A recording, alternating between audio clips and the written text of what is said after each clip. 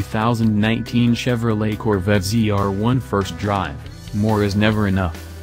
A car that can make the mighty Z06 look mortal. Jay is a man in a Z06. More specifically, he's a professional race car driver driving a Corvette Z06 around road Atlanta, tasked with leading journalists around the circuit. The journalists are piloting another type of Corvette, the fresh off the factory ZR1. I've never before felt anything but jealousy for a Z06 driver. It is a fast and wily machine, even among fast machines. With 650 horsepower and 650 pound-feet of torque, this Corvette is 2.95 seconds to 60 mile per hour kind of fast. And yet here I am in the ZR1, chomping hungrily at the Z06's quad tailpipes. Jay gets away from me in a series of flowing curves. At first, but I dip into the accelerator and in a double heartbeat I'm right back on his bumper. I soon learn the track a bit better, and allow the world's stickiest tires and my car's downforce to carry mad momentum through the corners. At that point I'm on him all the time, unshakable. Not to put too fine a point on it, but Jay, a very nice man from the Carolinas who has surely spent decades perfecting his craft, is toast. He and his Z06 are thoroughly outmatched by the new King Corvette, the ZR1. The ZR1 comes pretty late to the Corvette's 7th generation party. It's hard to know if customers were clamoring for it or if Chevy engineers simply got antsy. According to executives, though, demand is high enough now that there's a fair bit of cutthroat maneuvering by would-be customers at the dealership level. Do you know who I am?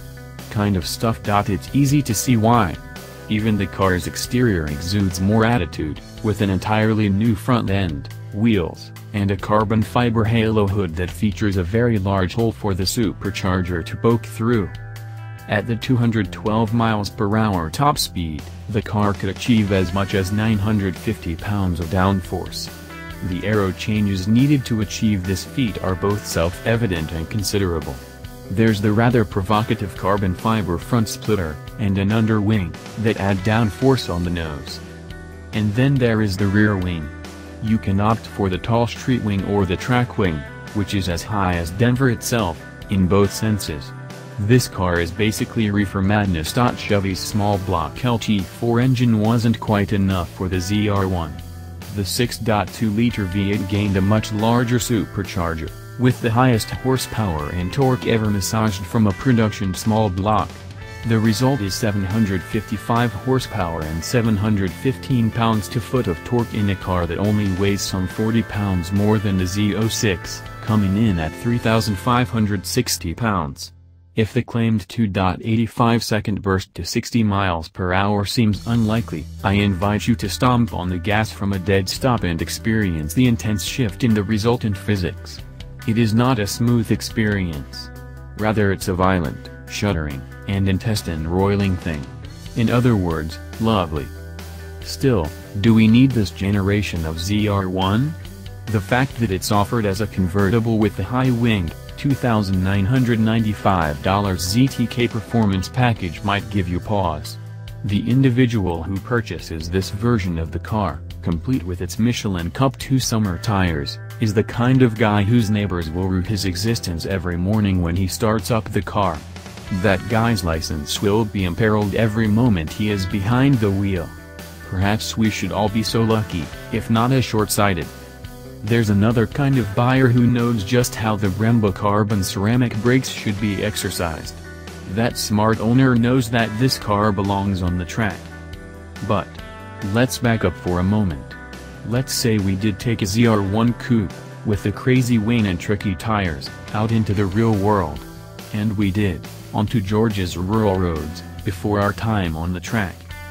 Here are a few things I learned. First, the wing is mounted to the frame and bumper rather than the trunk. It increases overall stability that way. But it means you'll have to hoist any luggage or gear over the wing to get it into the rear hatch, a tricky proposition. People will watch, and they will laugh. Second, the word idle is a misnomer. When you first crank the LT5, it is bellicose.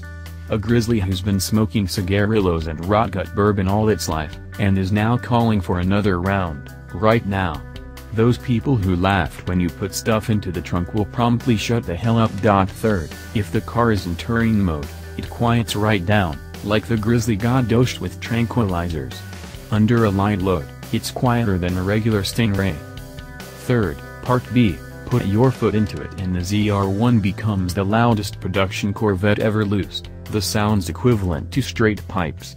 The Chevy boys have come up with a very trick exhaust system and the upshot is this duality. Driven in anger, it would never pass the noise requirements of Laguna Seca. The fourth and fifth points follow one another. The ZR1 is as easy to shuttle around town as any other Corvette, once you get the tires warmed up. Even the stick is a cinch. You could teach your kid to drive a manual in this car, says Tadge Juechter, the Corvette's executive chief engineer. In traffic this car is a piece of cake. It's more accessible than you'd have thought possible. We drove them around all winter in Michigan on snow tires. Juechter is not wrong. The ease is almost disappointing. Where's the grizzly? Bringing us to that fifth lesson. When a patch of traffic opens up and you punch it, the numbers on the head-up display scramble and you're in extra legal territory in a remarkably short time. Chevy quotes a 0 to 100 mile per hour time of 6.0 seconds and we think that feels pretty conservative. In short, it takes a regular road and beats the living hell out of it. On track, though, zooming under that famous bridge and arcing into the downhill turn that brings you hurtling down a straightaway, all that intellectual analysis is lost to the din, vibrations, and speed. The car just flows, an unerring mix of precision and power like hitching a ride on a guided missile. The only real downside? Making the mighty Z06, and its talented racing pilot, suddenly look mortal.